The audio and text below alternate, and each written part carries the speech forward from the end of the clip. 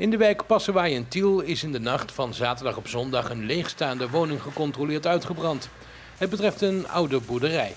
Er is niemand gewond geraakt. Ook zijn er geen giftige dampen vrijgekomen en er is er geen asbest geconstateerd. De vermoedelijke oorzaak is brandstichting, maar verder onderzoek moet dat nog uitwijzen.